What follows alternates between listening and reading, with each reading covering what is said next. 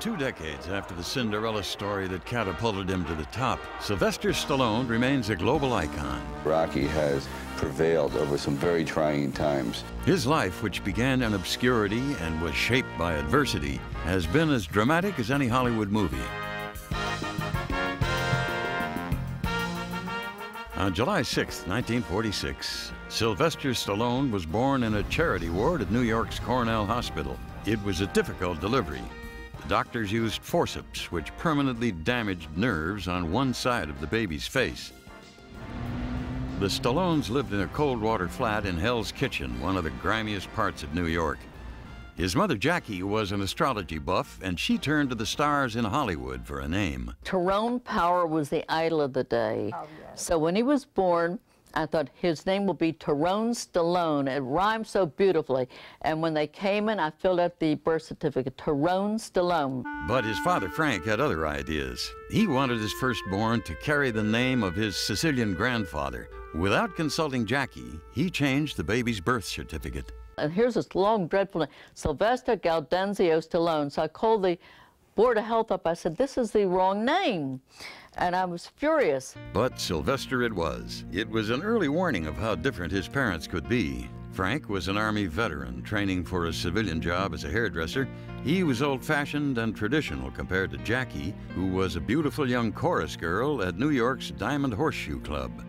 After the baby was born, Jackie went back to work. Sylvester was taken care of at a boarding house and returned home on weekends.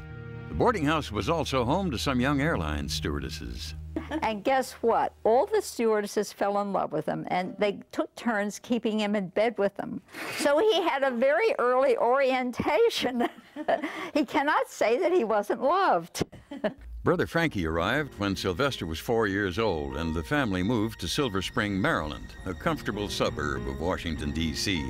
The family was better off, but Sylvester had a hard time fitting in. He was a skinny, insecure little boy with a speech impediment. I think most of the kids saw him as kind of like the funny guy or the funny kid, the weird kid. Not funny, you know, from a comical, but uh, who is that guy over there, you know? He didn't have a lot of friends, to be quite honest with you. A lot of people, uh, and they made fun of his name you know, Sylvester. Uh, so let's get rid of Sylvester. We know you don't appreciate being uh, mocked and tormented. So we're going to give you a name that denotes power, prestige, individuality, and a hero complex. We're going to call you Binky. Now it seems like a joke, but the name came from a popular hairbrush, the Binky brush, and somehow it stuck. Through most of elementary school, Sylvester was called Binky, until his classmates came up with a nasty little rhyme. Some of the kids started calling him Stinky. So uh, he did not like that name. He said, don't call me Binky anymore because, you know, people were calling him Stinky. So, uh, but to me, he'll always be Binky. Sylvester desperately wanted to blend in with the rest of the group, so he decided to call himself Mike, something he thought at least sounded normal. But the Stallone family would never be the picture-perfect family next door. His mother's personality was too flamboyant, his father's temper too volatile. I knew that his mom and dad did not have a real strong marriage. I was always being sent home early uh, because of that. And uh, Sly had a, a very tough uh, upbringing. You know, he came from a home that uh, uh, there was a lot of uh, turmoil going on in that house. Stallone looked for escape from that turmoil and found it in Superboy comic books. He lived inside his own vivid imagination where good always triumphed over evil. He made a Superboy costume to wear under his school clothes and jumped off the roof to learn to fly. He used to love superheroes when he was growing up, and he, I remember he told me he jumped off like a 25-foot building and broke his collarbone when he was a little kid because he wanted to be a superhero. In 1958, his parents' difficult marriage ended in divorce. Puberty coincided with his search for a new role model, and Stallone found one who was larger than life. When I saw Steve Reeves take on the Roman army and lash those two chains around those columns and that extraordinary pull, it literally was a life-altering experience. The next day, I went to a junkyard and started lifting car parts, you know, not big ones like horns and wheels, okay? he made the decision to be like Steve Reeves, the vulnerable little boy who had been the target of taunts and ridicule would build layers of muscle like a protective suit of armor. His mother, Jackie, had opened a fitness studio, which she called Barbella's. She moved to Philadelphia after her divorce and shared custody of the boys with their father. And it seemed to me that uh, he was a little scared of his father. Um, I learned later that uh, he was, in fact, afraid of him, and um, he was somewhat like Marlon Brando in The Godfather. I mean, he was a very soft-spoken gentleman, but he had that air about him that uh, if you crossed this guy, you know, he could hurt you. Jackie married Tony Filiti, who owned a frozen pizza business. And soon the boys had a baby sister named Tony Ann. Sylvester was getting bigger and stronger, and the four-year age difference with his brother became a problem. He'd pick him up and uh, turn him upside down, put him in an umbrella stand, or else he would stick him in a clothes hamper or hang him in a clothes closet. And a lot of times he would take his sneakers off and tie the laces together. He'd throw them up on the telephone wires in such a way he, he wouldn't be able to get them down. Stallone was becoming a juvenile delinquent. His grades were so bad he was not expected to have much of a future, much less a future as a screenwriter. He changed schools 14 times in 11 years, including a strict Maryland military school. As a last resort, his mother enrolled the 16-year-old in a boarding school for troubled boys, Devereux Manor Hall. The special attention at that school turned his life around. At Devereux, the muscular teenager began to excel in sports, and he also started to work with a speech therapist. It wasn't too long before his grades were improving, along with his self-confidence. Stallone earned a sports scholarship to the exclusive American College in Switzerland. Nestled in the Alps, it was a small campus of about 200. Never a serious student, Stallone's reputation was based on what he did outside of class. Well, it was a college, so we did a lot of drinking, uh, but uh, we were up in the Alps, so uh, we were skiing, uh, we were uh, hiking, there was a lot of mountain climbing going on. The insecure boy named Binky had become Michael Stallone, big man on campus. He became the focus of even more attention as the lead in a college production of The Death of a Salesman. But I think that's where he first got the acting bug. Uh, he was very excited about what he was doing. He liked being in front of a lot of people and he was very comfortable doing it. Stallone had discovered two of his lifelong passions, acting and athletics. He traveled a bit in Europe, surviving a brush with death on a remote Spanish mountaintop, but he was anxious to get on with his life. He returned to America as the anti-war movement was heating up. With a student deferment from the draft, Stallone enrolled at the University of Miami in 1967. Still nursing an acting bug, he signed up for dramatic improvisation. He became the hunchback, drooling, snorting, bruising, bumping into people, wild. The other people actually cleared away, and I'm watching him thinking, this guy's nuts. He's out of his mind. I love him. The two friends shared a love of writing, and they held marathon story writing competitions with each other for up to 48 hours at a time. Stallone also focused on self-improvement. Sly had a slight lisp when I met him and he cured his speech impediment. And he would sit for hours because we shared in a, he lived in the closet of my apartment downstairs for a while. When he got thrown out of his apartment, he'd keep this really real tape recorder and he'd just read Walt Whitman over and over again. I sing The Body Electric. I heard that poem over and over. I wanted to strangle him. He'd keep me up at night. Stallone dropped out of college and moved into a $36 a week hotel room in New York City. He worked in a few off-Broadway plays and took a bizarre string of odd jobs to pay the rent. Stallone cleaned lion cages at Central Park Zoo. He sold fish at the Dover Deli, and he worked as an usher at the Baronet Theater, where he fell in love with a beautiful usherette named Sasha. He and Sasha moved to an apartment on Lexington Avenue, and for the first time he was using his real name, Sylvester, hoping it would help him stand out from the rest of the crowd. Most agents thought he just looked like another tough guy. One director didn't even think he was good enough to be bad. And we see Woody Allen, and he glances at myself and this fellow named Tony, and he goes, sorry, you're not intimidating enough. I went, hmm, that's a first. Okay. But Stallone was determined to convince Woody Allen he was mugger material.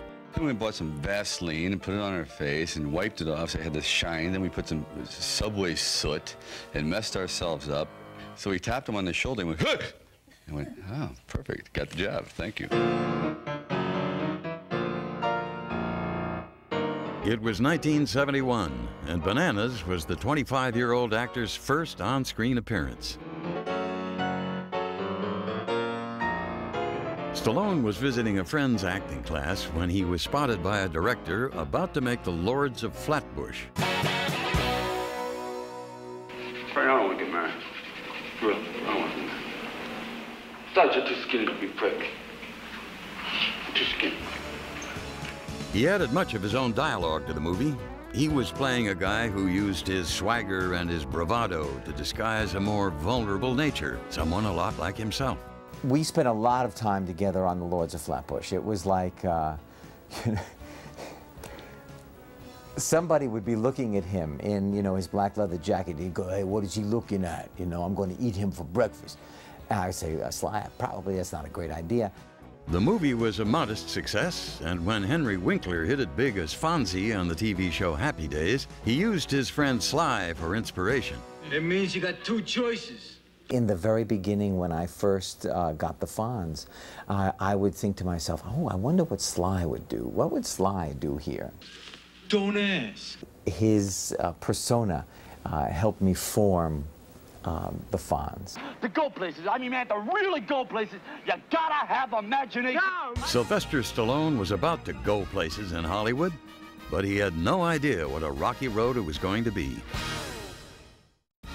It was 1974, and the boy from Hell's Kitchen packed up his life and moved to California. Everything was about to change, except for Sasha and his dog Butkus. The car they were driving gave out in Hollywood. His car broke down on Sunset Boulevard, and he didn't know anybody else in town but me, so he called me up. He said, hey, I got a problem. My car just blew up. I said, I'll be right there. Sly and Sasha married and moved into an apartment off Hollywood Boulevard. Stallone found work in a few movies. He was a gangster in Capone, a gunman in Farewell My Lovely with Robert Mitchum, and a hapless mugger in Prisoner of Second Avenue with Jack Lemmon. He was finally cast as one of the good guys, a police officer, on the TV show Kojak.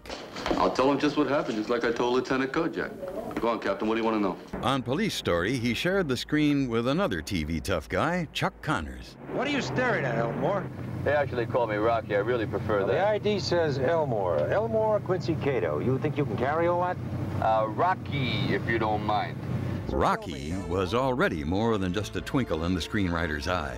Stallone had been painting that character since 1973. It was done with uh, hands and a screwdriver, and I didn't know exactly where to go with Rocky, so I couldn't put it into words, so I tried to put it visually and try to get his countenance, his feeling, his musculature, and then work my way into being more verbal. But the story finally fell into place in 1975 when he saw Muhammad Ali pummel a second-rate boxer named Chuck Wepner.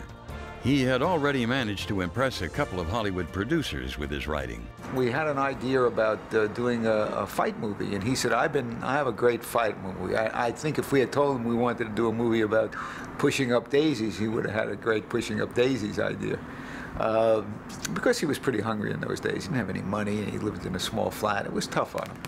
He offered to write the story for free if he were given the starring role.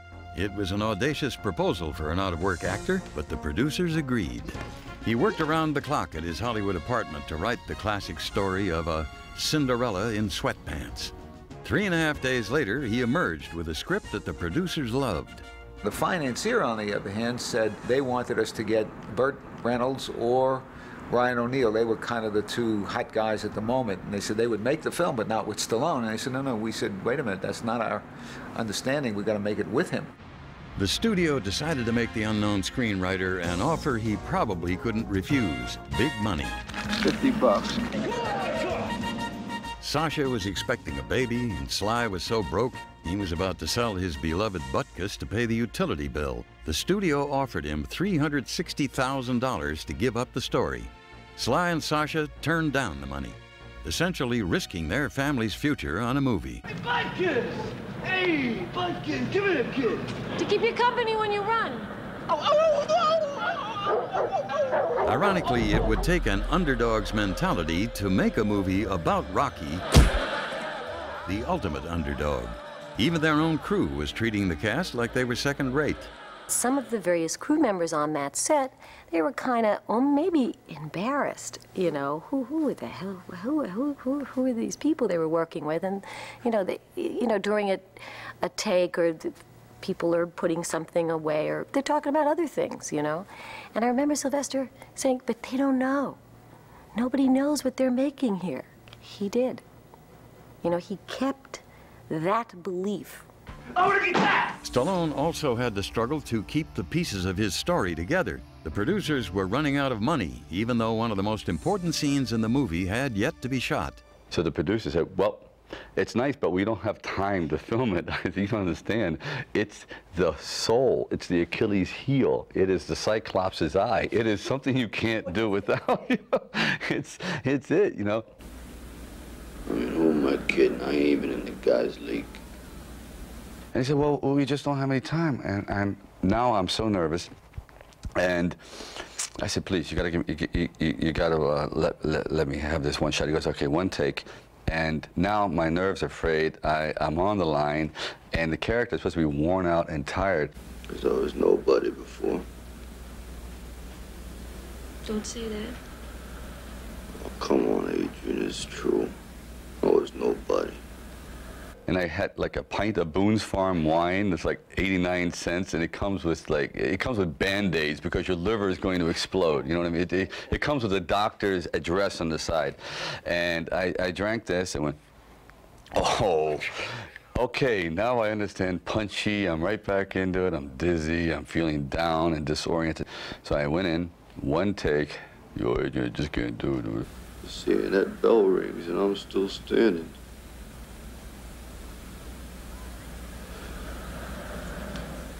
I'm gonna know for the first time in my life, see? That I weren't just another bum from the neighborhood. I said, cut, take. Next day, the producers came out. Sly, that's our favorite scene. I went, thank God. Rocky opened in theaters and became a phenomenal hit, turning Sylvester Stallone into a worldwide sensation. Critics called it overly sentimental, but the Million Dollar Movie made $160 million at the box office and came to be considered a classic. At the age of 30, the boy from Hell's Kitchen was suddenly famous, enormously wealthy, and on the verge of making Hollywood history.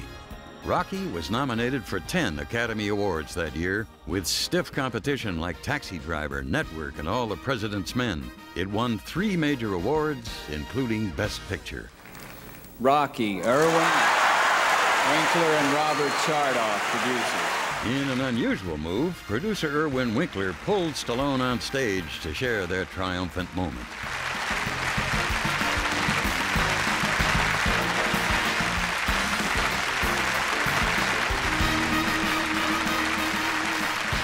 And to all the Rockies in the world, I love you. Thank you. Backstage, Stallone was flippant and ecstatic.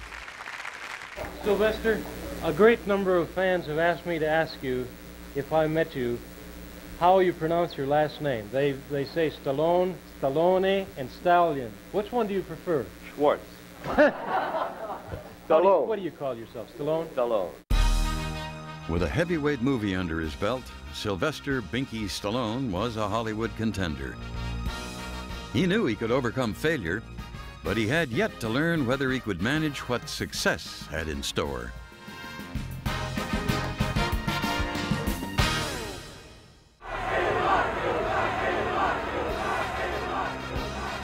It was 1977, and Sylvester Stallone was on top of the Hollywood heap. But he was going to have trouble staying there. Overwhelming fame made him overconfident. Suddenly, he was in demand everywhere, and his family life began to suffer. Soon after Rocky won the Oscar for Best Picture, Sly stepped up to bat as a union leader in the movie Fist. The movie was about the rise and fall of a labor leader who became powerful and corrupt by linking organized labor with organized crime. Sly beefed up for the part, and the makeup department tried to make him age 30 years. All joy contempt! All this hearing in contempt! All my lotto in contempt and all my stuff in contempt! Critical opinion was divided. The Hollywood trade press said Stallone was strong and dynamic. But the movie was also called big, bold, and botched. If it was a sophomore curse, Sly barely had time to notice. He was already on location for his next big movie, Paradise Alley. Where'd you want this houseboat again?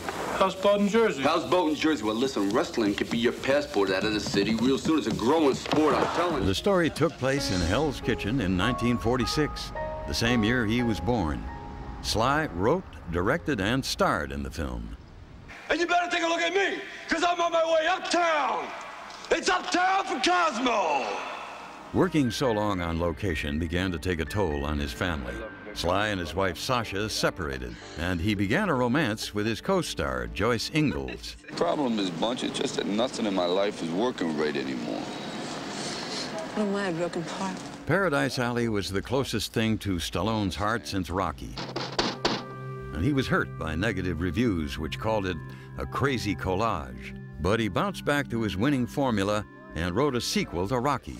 I can get another job if I want it, you know? But do I want? I mean, do I want to be doing something I ain't gonna be happy doing? Plus, you know, we need the money now, Butkus.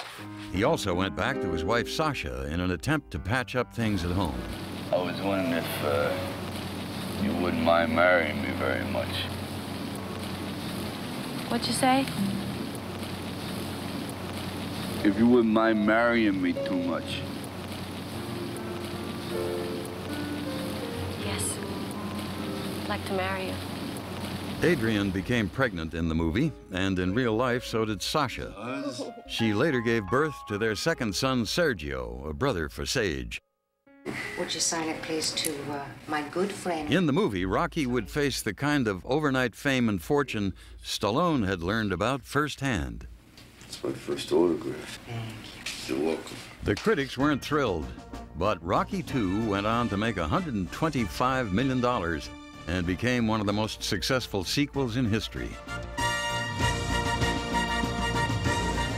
He invented sequels. He, he invented the whole sequel business as we know it today.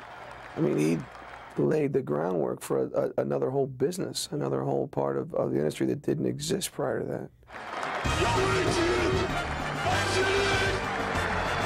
Career-wise, things were getting back on track. But privately, Stallone was riding an emotional roller coaster. He and Sasha had split up again. She filed for divorce while he made headlines with the leggy blonde actress Susan Anton. Meanwhile, Stallone felt he was on a treadmill to nowhere with his next two movies, Nighthawks and the wartime film Victory. When I was born, he was never there. You know, he was always working. He never had time to spend with his kids. You know, we'd have to go see him on the set.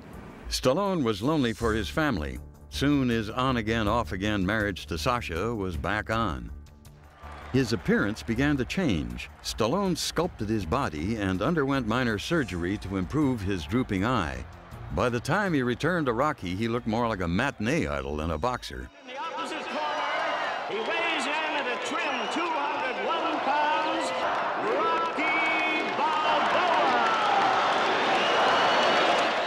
Stallone had been criticized for making boxing seem too brutal, but he thought realism was an important element, and he didn't change his approach at all this time around. Look at that, right to left to the head. I would try it two ways. One, going all the way to the end, but dipping out when we get back to real time. Rocky III rewrote Hollywood history again. Sequels weren't expected to do better than their originals, but this one did, making nearly $200 million worldwide. Oh, absolutely. Other stars were paying attention. I thought Rocky III had this kind of fresh uh, life to it, and I felt that he knew he was the master of making a sequel work. John Travolta chose Stallone to write and direct his sequel to the disco classic Saturday Night Fever called Staying Alive. Sly added his usual touch by writing about things he had experienced firsthand, like having once been so broke he had to wash his clothes while showering. Sly put so much of himself into the script, he finally put himself into the movie. Yeah, I mean, it's a very popular thing, and I think I remember the audiences going nuts over it when we bumped into each other. That was his idea. The audience loved it. They screamed when he was on.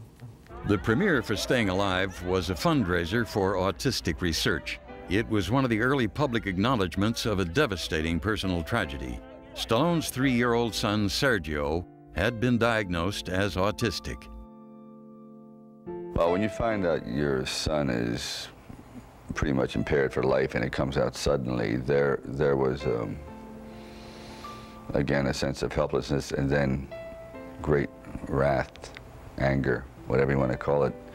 I, I felt um, betrayed by God.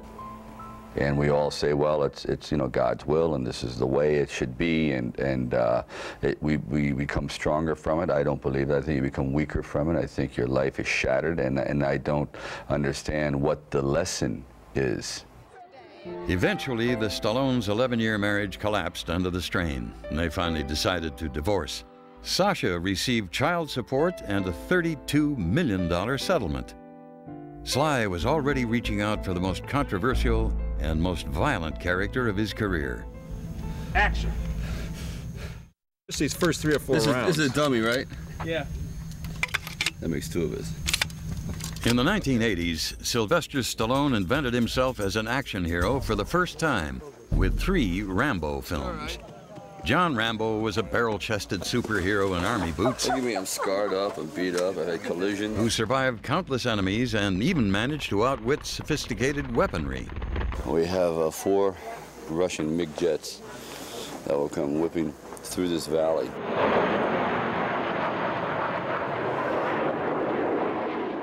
Four planes at the same level? Rambo's simple solution to complex problems transcended language barriers and appealed to fans all over the world, including politicians. And in the spirit of Rambo, let me tell you, we're gonna win this time. But the Rambo reaction was not entirely positive. The late peace activist Jerry Rubin was one of those who picketed theaters in the 80s. I thought it was one of the worst movies I ever saw, and I'm pretty objective. And I really can't even think of one bit of redeeming social value in the movie. For people to think that it, uh, that it really is meant to be um, an honest evaluation of, of, of solutions to problems in the world today is, is a little, it's a little ridiculous. No, I'm, if we can get back to, he says, isn't the war finally over for you for today? In 1982, First Blood was Stallone's first blockbuster hit apart from Rocky. Ironically, when the star saw an early rough cut of the film, he thought he had made a terrible mistake. It was horrifying. And it was so dark that at times I wanted to go up and feel the screen if we were there. I mean, I didn't I know there's I know there's movement, I hear it, but I can't see it. It was that dark. It was a rainforest. So afterwards, I turned to Ron Meyer, my agent. Don't push it. He was almost on the floor and he goes, "Do you want to throw up first or should I do it?" And I said, "It's pretty bad." He goes, "It's horrible." After that initial panic, the movie was turned into a winner. Let me come in and get you the hell out of there. They drew first blood, not me. Stallone made $3.5 million for First Blood, but the two Rambo sequels brought him more than 10 times that amount Thanks for including me. $36 million. Most stars are lucky to create one movie hero. Stallone was now linked with two indelible icons. But one of his personal heroes was a world away from either Rocky or Rambo. Oh, cuff. Hey, Link, what are you drowning down there? You know, you got to imagine this is a guy that was teaching himself a new word each day so he could understand Edgar Allan Poe. He knows everything about Poe's life. He's fanatic about Edgar Allan Poe. And I, when I first met him, I thought, Rocky reading Poe. it's an interesting picture, you know. But he, he knows about his life, he knows about his death, he, he has a story about how he really died. Searching for another creative outlet, Stallone began to paint in earnest. He explored his two alter egos, Rocky and Rambo. Rambo is trying to run from his inner self, is running from his own demons. A very prominent part of Sly's personality is the dark side. People think of him as this gloaming light of optimism. He's a sun rising, when actually a lot of what Sly is is the sun setting and going down and keep going down. I mean, that's a lot in his artwork. You know, they're very strange, depraved, dysfunctional creatures in his work. Though dark, his paintings proved to be popular, selling in the mid five figures. What's easiest for you, acting or painting? Painting is easier because you can always uh, uh, take the canvas and throw it away. the movie stays with you forever. One of the movies Stallone probably wanted to disappear was 1984's Rhinestone, co-starring Dolly Parton. He played a singing cab driver. Rhinestone was a tremendous disappointment to him. It was somewhat of an experiment. It was taking him out of character. I think he did things that were somewhat shocking to people uh, to think that the same person who played Rocky and Rambo uh, also played this character in Rhinestone. Stallone responded to the movie's failure by going back to his tried and true champion in Rocky IV. This time, Rocky knocked out the entire Soviet system.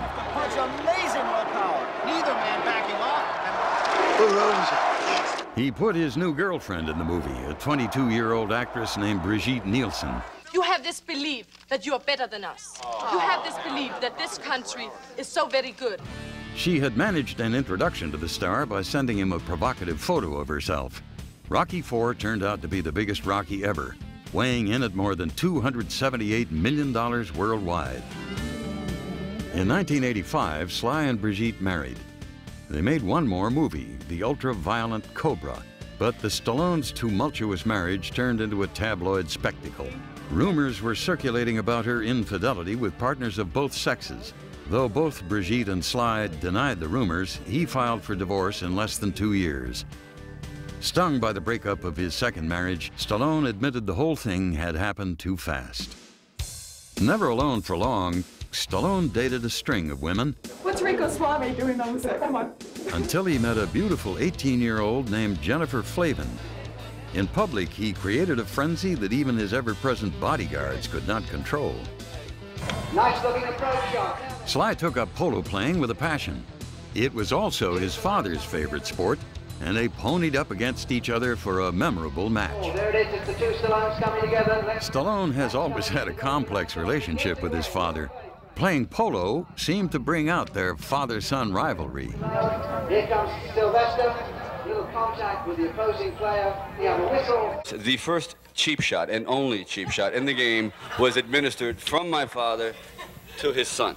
Now, if that isn't biblical, If I really did what I did, uh, uh, you know, it's just a part of the game. Either you take it or you don't. I was expecting it. At least he didn't score the goal. That I couldn't live with. Sly later gave up polo in favor of golf. The beauty of this sport is that I'm never unhappy because at the end of every game, I go, thank God I didn't choose this for a living. He became a fanatic golfer, but the action hero was also beginning to pay a steep price for putting so much of his own movie muscle where his mouth was. I broke my nose twice, collarbone, knuckles, hands, ankles. I broke uh, my collarbone twice again. I've cracked my vertebrae, cheekbone, feet. I might crack my patella. It sounds like a symphony of walnuts in the morning. Like, Castanets, anyone? I'm getting brutal as it is. Kid, tell Sly went back to Rocky one more time in 1990. The low-budget feature that had given birth to an entire career now earned him another $30 million for the final installment. His son Sage played Rocky's son in the movie. I pierced my ear, and I put an earring with a chain, and he saw that chain hanging from my ear. It wasn't a good day for me, okay? What do you think? You knew me? You look like the daughter that I always wanted. What are you talking about? In 1991, Stallone joined forces with two other Hollywood megastars, Arnold Schwarzenegger and Bruce Willis, for Planet Hollywood. The franchise was a brilliant marriage of publicity and commerce. He has an incredible sense of humor. I mean, he is just hilarious. He'll have you crying, laughing, telling you stories. Stallone tried to capitalize on his sense of humor with the comedies Oscar and Stop or My Mom Will Shoot, but moviegoers weren't laughing. So in 1993, Stallone returned to the kind of spine tingling adventure his audience had come to expect. Cliffhanger was a monster hit. Sly did the majority of those stunts himself. Uh, he was hanging out there in the in the middle of nowhere, hooked by some wires, uh, climbing those mountains. I mean, it was pretty extraordinary. He gave up experimenting and continued giving audiences what they wanted in another action thriller, Demolition Man. His co-star was an unknown starlet named Sandra Bullock. Ain't she great? A real trooper. I hate that word. You know, All right, a real, when they I'm sorry, a real else. pooper. That's great. Like, is that better? That's better. Thank The two stars clearly hit it off and even managed to get into a little trouble in between takes. This dress was made out of little glass beads and, and by a jeweler, and it was a gorgeous dress. And, and there was a handbag that went along with it in the same material. And once again, it was late at night when, when Sly and I had obviously peaked on energy. And he goes, here, let's play your dress. So I sort of put my hands over my head and I posed as like the, the washboard. And he took the purse and he started rubbing it and we were singing. And um, it cheered everyone up. But the next day, he comes up to me and goes, oh, I think we're a little bit of trouble. I said, why? He goes, because apparently this dress cost $30,000 to make. Great. And by him playing the dress and me being the instrument, we destroyed the bottom half of the dress. Like you're gonna see the scratches on the bottom of these little glass pebbles was my response. He added another $12 million to his bank account in The Specialist with Sharon Stone. The reason I signed up on this tour of duty, actually. But his love life was unraveling. When another woman claimed he had fathered her child, Stallone broke up with Jennifer and decided to support the baby. By the time the dust had settled and a blood test proved that Stallone was not the baby's real father, Jennifer had returned to her modeling career. Judge Dredd was dead on arrival in theaters. But he was already busy at work on Assassins with Antonio Banderas. Sly knew he would never completely escape action roles. He took on Daylight, another physically demanding role. Yeah, I think he's been typecast somewhat, but I'm not sure that's the worst thing that's ever happened. You know, I think he, he is a, a true action hero. In 1996, Stallone was a global superstar. Two decades had passed since Rocky, Gonna stick this face on a stamp. What do you think? and he marked the anniversary with a postage stamp issued in five countries. It was a sentimental tribute to a well-loved star.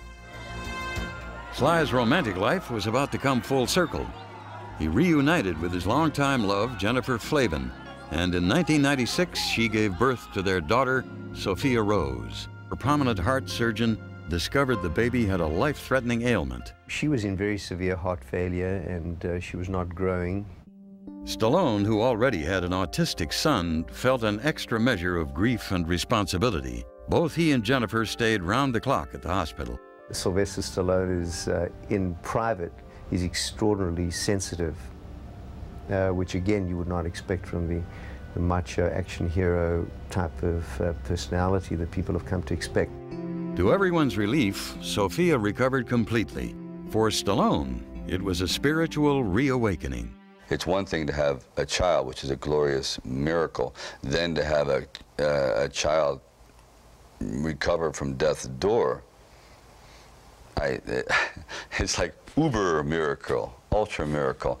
And then, so I, I renewed my faith in man, in man's skill. It renewed my faith in uh, modern day miracles. It renewed my faith in a lot of things. And it kind of, and then with Jennifer, uh, it, it really took love to a, a new level, a plateau that I have never been before. So I, um, I have to thank that little Sophia Rose for that.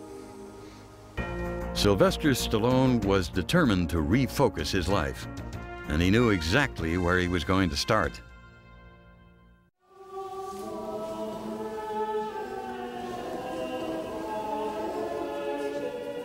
Sylvester, will you love her, comfort her, By the spring of 1997, Sylvester Stallone had been at the top of his profession for 20 years.